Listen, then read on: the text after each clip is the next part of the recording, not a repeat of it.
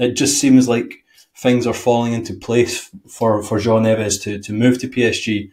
And I think that has to be considered really encouraging because PSG have managed to sign reasonably well from Portugal in the recent past. I'm thinking Vitinha, uh, Manuel Ugarte as well, who I feel was a, a, very decent player, but perhaps somebody who just didn't fit into Luis Enrique's system.